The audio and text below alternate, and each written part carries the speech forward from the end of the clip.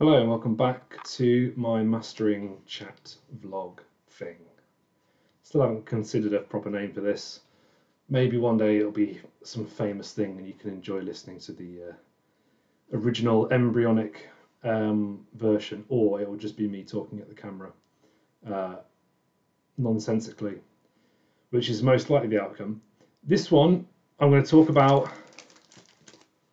these bad boys. This is a test pressing. One of the most misunderstood things within the entirety of the vinyl process. Now, just to be clear, I don't do vinyl mastering in the sense of cutting vinyl. I do what's called vinyl pre-mastering, but we most nowadays refer to that as the mastering. Um, the semantics are difficult to understand.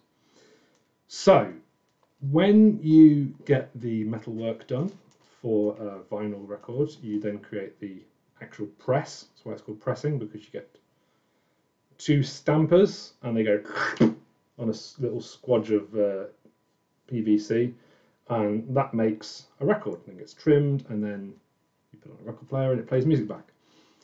Now, a test pressing is a short run version of the records, usually like 5 to 15, sometimes more, um, is made using the stampers that they intend to use for the uh, final production run. But it's just a short version done on a small uh, press for you to just make sure everything is correct before you press go because you know PVC is expensive, vinyl is hilariously expensive now. And if you mess it up, there's not really much you can do about it. You lose hilarious amounts of money. So test pressing is a fantastic way to make sure that you've, you've done everything right and they've done everything right. So I'm going to cover my address just in case there's any weirdos out there. Now, this is a test pressing. This is a released record, so I'm allowed to show you this.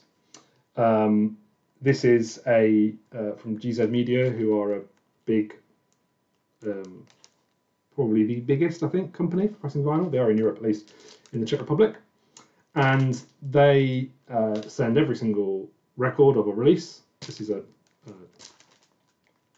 4LP version um, of a record. This is the version which I've actually played. I'll come to that in a minute. Uh, this is a uh, release on Laced Records. This is the Borderlands 2, one of my favourite computer games of all time. Probably in my top five. If you want to know my top five video games of all time, um, post in the comments. So there's all kinds of data on here, and we'll talk about that before we get the record out. First of all, what I've stuck on the front is this. I've stuck on uh, the catalogue number in my um, very bad handwriting title, the version, which is the 4LP version. Um, what have I put there? Yeah, I don't know. Oh, I've just put the pressing plant as well. Um, TP1, first test pressing that I took out the package and then checked, which means that I've played it. So before I get onto anything else, I know which version of the test pressing it is. So if I need to pull it back out, which often happens if you're quality controlling something goes wrong, I've got that on there.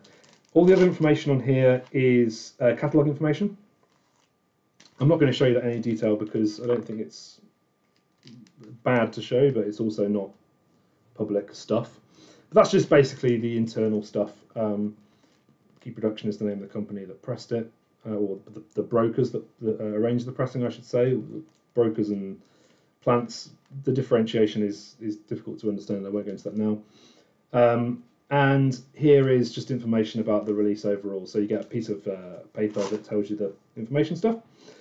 And I've put that in the first record of the release because that allows me to then know that that's the first one when I go and look through them. Anyway, the information on there is kind of, it means nothing really once it's been pressed. It's just information for the, the production side. So take that out of the sleeve, boring metadata out of the way. This is the test pressing guidance stuff uh, in, on the disco bag. Disco bag is a it's, a, it's called a disco bag because it's a, usually for vinyl DJs, which is where you've got the record in the middle, and you've got a cardboard slip, um, and they send you in a, in a disco bag where they've printed the information on this is basically GZ's uh, troubleshooting stuff. Thank you again for the order. We really hope the way your record sounds. You like the way your record sounds. And we'll come on to that in a minute. The record itself then comes in a, a further PVC lined uh, inner sleeve. And here is the record. So all you've got is side A mark to know which one to start on, and then side B is the one that's blank. I've actually not stored this very well because it's warped slightly, but that's by the by, that's just me being um, silly with how many test pressings I have in one place. So you get this. What the hell do you do with it? You um, you play it is the first thing, and you make sure that the right stuff is on the right disc. That sounds um, overwhelmingly simple, but honestly, if you don't check this stuff, stuff can go wrong. So you make sure that side A is the right record, and you should have information in the inside here, which is called the dead wax. So after you've got your locked groove from the runout, you then have uh, something written. So this will say the uh, name of the release, and it has the catalog number and internal matrix numbers. That's just basically something for the plant to use. So you need to make sure that information is correct and what you expect, and sometimes people will write stuff in there, and uh, you need to make sure that that's right. And that's a good way to know that you've got the right side of the record. When you listen to it, make sure it's pressed at the right speed, 45 or 33. You should have all this information in the spreadsheet already and make sure that the track spacings and everything are as you expected. Normally what you'll do is you'll send one track for the entire side and they'll put these little lines here which are called VTMs, visual track markers, which is basically like a spaced out uh, groove. So it's like a, a little bit like at the end here, but like a little version of it. That basically leaves you a little bit of dead area to pop your needle down on if you want to play a certain track. That's most importantly for DJs really. But it's also, you know, if you want to play one track, put it on your record player, you can see it and you can go to it. You'll then, before you listen, this is what I do, you do a visual check. So I have um, in my studio, I have a, a, little platter that I put it on, and I have some lights, different angles, and I can then look at it, and I can see that this is quite uh, dusty now because I've, obviously I've got it out and I've messed around with it. Normally you'd expect no dust really, apart from little maybe little tiny bits of paper, which you can wipe off with a brush before you listen if you're concerned. Um, and you're just checking to see there's no damage. This is absolutely clean.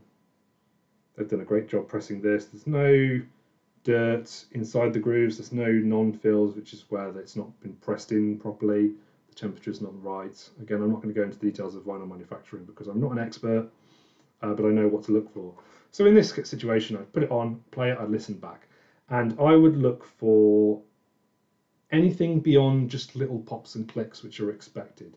And if you have areas where it's crackling a lot, you can press stop, have a look at the disc and just see. If it's a little bit of dust, wipe it off, go back, play it again. If you're getting pops and clicks and you're looking at the record and there's some sort of damage or there's a line or a scratch, this is why you get several test pressings because at that point you put the test pressing back in, you grab the next one, you write a note on the front of it, and you crack on and you start the process again. If you get the issue again, you make a note of it, you change to the next test pressing, and if you get to the third test pressing and you're getting the same issue, you reject the test pressing and you say, on all the records in this one area, I'm getting a problem, I've wiped it, it's not coming out. My cat just shouted at me, hello Daisy, are you all right? Yeah, she, I think she's all right. She's never really all right, this cat. She's a bit of a mangy beast, to be honest. So that's when you reply. And like I always say with stuff, you need to be clear, you need to be um, concise and give the best information back to the pressing plant. And the pressing plant will they be able to either do a recut or repress the test pressings or whatever you need to go from that point. I'm not going to go into any more detail on the test pressing stuff because I'm not an expert. I refer you all to the uh, Making Vinyl Master Disc podcast and also the um, Women in Vinyl podcast is really good for this. They talk a lot about the manufacturing side as well as the mastering side. Anyway, test pressings really stressful generally, um, but can be made easier if you follow a couple of guidelines which I've just laid out for you. Any questions, leave them in the comments, like or subscribe, all that good stuff. I'm going to go make sure there's not a problem with the cat because she's just shouting at me. Goodbye.